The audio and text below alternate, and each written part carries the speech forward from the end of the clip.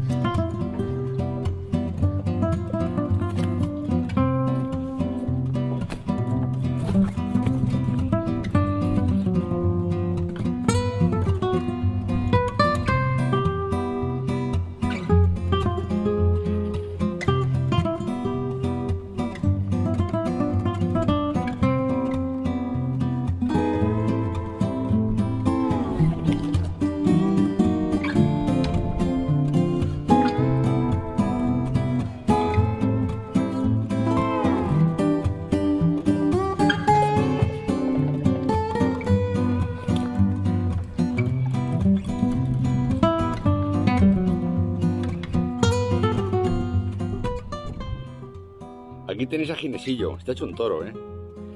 Uf, ¿cómo están? Mirad, es que no se pueden sujetar, está fuerte, fuerte, fuerte. Quieto. Ahí lo tenéis.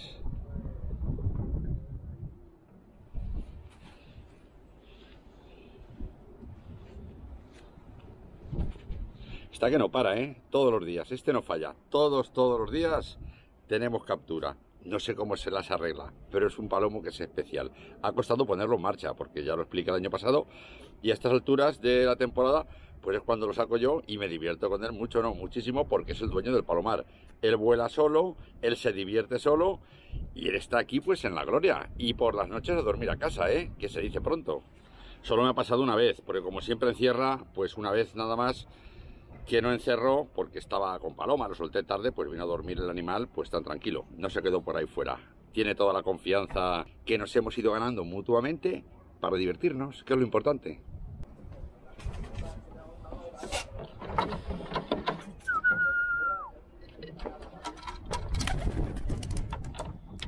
Ya habéis visto lo que ha pasado, pero bueno, que estos son gajes del oficio, que esto pasa en las mejores familias.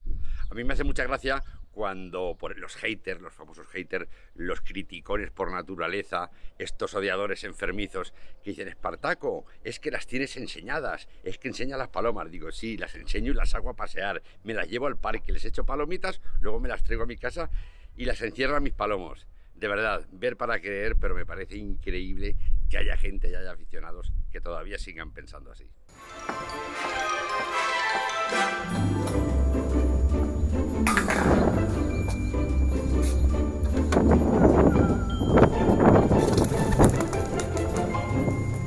Una de las preguntas que se hacen muchísimos aficionados, sobre todo los más jóvenes, jóvenes me refiero a los que entran nuevos en la afición, de igual que tengas 15 años o que tengas 80 años, eres un aficionado joven porque eres joven, eres nuevo en esta afición.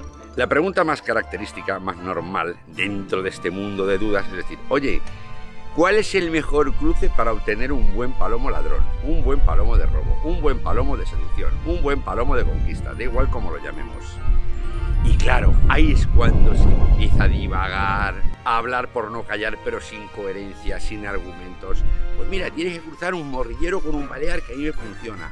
Otro, a mí me funciona el palomo mmm, colillano con moroncelo y después le pongo un poco de tórtola y ese funciona. Claro, el aficionado nuevo pues, pues hace un lío porque no se aclara. Otros, oye, no se te ocurra cruzar con paloma bravía, que eso no funciona, que esos son unos salvajes. Otro, no, no, tienes que cruzar con mensajera, sí o sí, porque en la mensajera tiene mucho sentido de la orientación. En fin, que hay para todos los gustos. Yo con esto no quiero criticar a nadie. Únicamente quiero deciros antes de ver el trabajo que vais a ver ahora de Ginesillo, que es de mi amigo Vicente, que a ver si pasa todo esto del COVID, aunque no lo sé yo, porque vamos ya camino de la cuarta ola y le puedo hacer el regalo a su padre de este magnífico palomo, que es Ginesillo, que lo tengo aquí cuidado, vive en una urna. El palomo lo tengo de maravilla.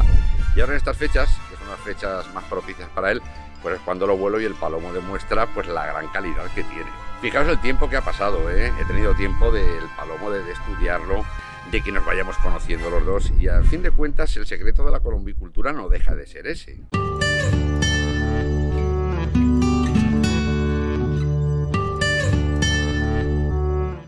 Siempre sobreviven los más fuertes y a partir de ahí es cuando hay que trazar el camino. Mientras que es eso no se os meta en la cabeza, lo asimiléis y lo llevéis a la práctica, no vais a conseguir nada con ningún cruce. ¿Que puede sonar la flauta? ¿Que te puede tocar la lotería? Porque eso puede decir uno, oye, yo es que no trabajo porque me va a tocar la lotería. Oye, pues me parece muy bien, tú no trabajes. Si te estás contento y estás convencido de que te va a tocar, pues me parece muy bien. Pero ese no es el camino. Nada más, os dejo con Ginesillo. Espero que os divirtáis, espero que os guste. Que parece que el día se ha arreglado un poco porque esta mañana hacía aquí un frío que pelaba. Frío de lo de la Mancha y estamos a día 1 de abril de 2021. Nos vemos. Hasta luego.